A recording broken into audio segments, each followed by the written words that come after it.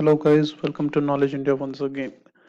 Now in this tutorial we are going to talk about different storage options uh, on available on AWS, right? Um, as you can see we have three things S3, uh, EBS and EFS. So S3 stands for Simple Storage Service, EBS is Elastic Block Store and EFS which came probably a year and a half back that is Elastic File System now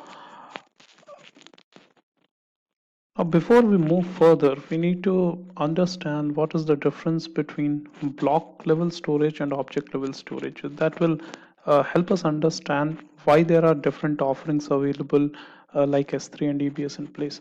So in order to understand that, I'm taking a, an example of a file. Let's say you have an Excel file which is of 100 MB in size, okay, and you go want to take that file and save it on your laptop or desktop. Now depending on the on the block size which is there on the hard disk of your laptop the file will take n number of blocks. Uh, I'm sure if you have ever formatted your system and you try to create partitions you would have seen that on one of the steps it it uh, it asks you that what would be the size of your blocks right? The size of the blocks on your uh, on your disk. So we, we give it normally it could be like we can do it anything. We can give it 256 kb we can give it half mb like 512 kb or things like that. So let's let's consider that. Uh, we our you know the block size is uh, 512 kb or half mb and uh, i go ahead and save this 100 mb file on that disk. It is going to take uh, 200 blocks right? 100 divided by 0.5 so it is going to take 200 blocks. Now uh, that is what is represented on the left hand side.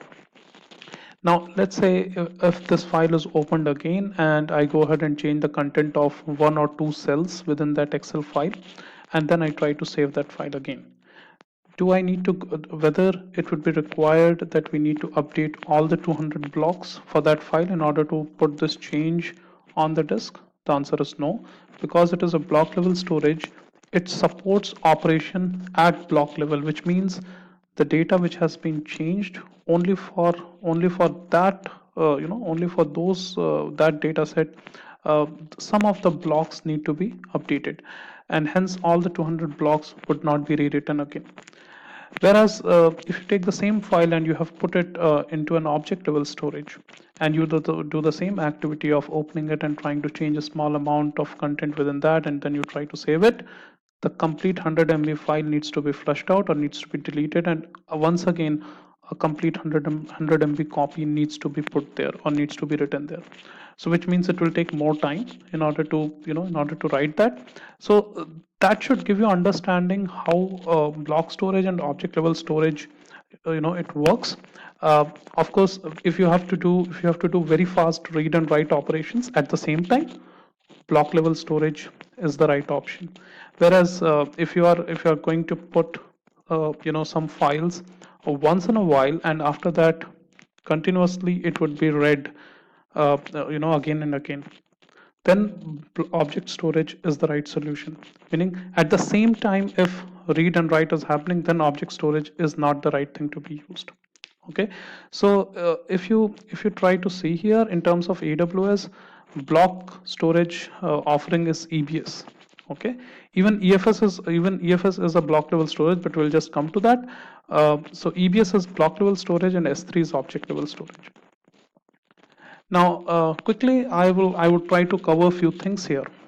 Uh, uh we can go uh, you know in a different tutorial we'll cover in detail about S3 but for now what are the typical use cases when you should use S3 any use case or any scenario where either you are writing continuously and not reading the same thing at the same at the time or not updating it s3 is uh, s3 is good right? You want to ingest a lot of log files from different sources continuous ingestion do that on s3 or else you want to you want to keep the static assets of your website uh, uh, and then you know you put it once and after that it is being accessed across the world write once read many times. That is the pattern.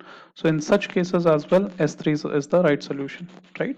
Uh, you also get the benefit that you do not need to plan for the sizing. Uh, you can go ahead and just keep dumping your data on s3 and it just scales. So you never size uh, your bucket at all. It is basically unlimited storage. Um, but at the same time it is not a storage which is suitable for uh, hosting your OS files or hosting your database files as such, right? It can be used for backup, but this cannot act as a disk with your servers and it cannot keep your uh, uh, operating system files or database related files. So that part should be clear. Many times I get this question and hence I'm trying to make clear the what is the reason for that I told you before the type of operations which are possible on object level storage like S3 would not be uh, would not be optimum for operating system and databases right they in case of uh, OS and database very fast read write happens on the disk so what is the solution for that? EBS is the right thing. EBS works best as your, you know, as the hard disk or as the disk for your service. So use EBS uh, with your EC2. They are uh, persistent uh, in nature. EBS, uh, even if you uh, stop your EC2 instance, the data on EBS would not be lost. And uh, depending on the type of EBS, you can achieve really high uh, read and write performance. Uh, by default, whenever you create uh, an EBS volume, it is replicated uh, like two times within the same AZ. Remember that within within the AZ in which you created, not across AZs. Also, an EBS volume can only be mounted to one EC2 at a time, and uh, the EC2 and the EBS volume both should be there in the same availability zone right? So many of the times people go ahead and create a new uh, you know a new uh, EBS volume. And then when when they are trying to attach it uh, to an EC2 the EC2 is on the other AZ it won't work. So take care of that. So moving ahead um, about EFS so uh, people used to have uh, this uh, this particular use case that they want to have a file system which should be mounted on different uh, servers at the same time meaning from from five different servers they should be able to write on on one shared file system right? But that type of offering was not available earlier. And uh, i've seen that uh, many of the times uh, people go ahead and mount s3 bucket itself as uh, as a disk on on ec2 there are utilities like s3fs etc with which you can do that. Uh, that is not a very recommended solution because many of the times you know uh, it doesn't perform well. It gives a lot of errors as well. At times the files do not sync between your system and s3 so in, uh, instead of that you can go ahead and use uh, the this new offering elastic file system it is uh, it is available like it is generally available now. So you can go ahead and make use of efs the way efs works is it is again uh, you can think of it as a as a block level disk which you can mount uh, on your ec2 machines. The good thing is one efs uh, volume can be mounted to n number of different ec2 machines within a region. That's the good thing right? Also the underlying uh, you know underlying mechanism the way it is implemented when you create when you create an efs volume uh, there are you know it gets replicated across different availability zones within that region. So that is really good thing. So you, you can have one ec2 in az a another one in az b and you can mount to the same uh, to you know to the same efs volume. That's really great thing.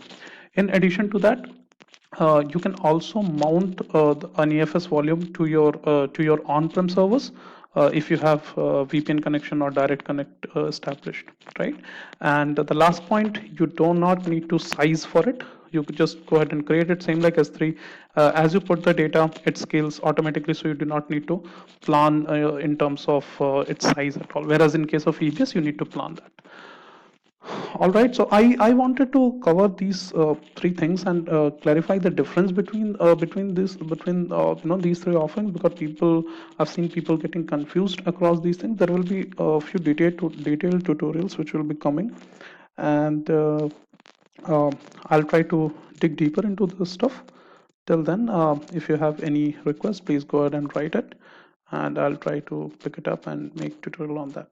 Thank you please uh, if you like it you can go ahead and share it. Thank you